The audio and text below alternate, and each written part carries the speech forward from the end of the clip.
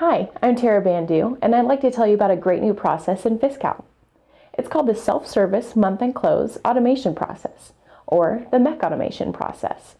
This process gives departments the ability to perform their month-end close by themselves. Let's take a look at how it works. A new page has been created in Fiscal called the MEC Automation Process page. To access this page, departments will need to request access to a new role called the MEC Administrator role.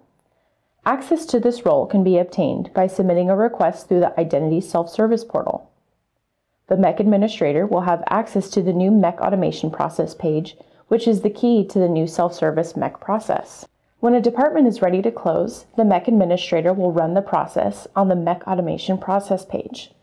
Controls in the system will check that all the submodules are completed before the user can run the process for assets and general ledger modules. After running the process, the system will display the status with a red and green color indicator. The green status indicates the process ran successfully, and an auto-generated email was sent to State Controller's office to close the period. Departments will be CC'd on the email sent to the SCO. The red status indicates that there are pending transactions requiring resolution. When this occurs, an email is sent to the department listing the pending transactions by module. Departments can fix the issues and rerun the process.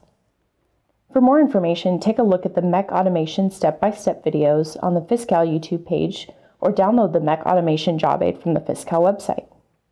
If you have any questions, please contact the Fiscal Service Center at fiscalservicecenter at fiscal.ca.gov.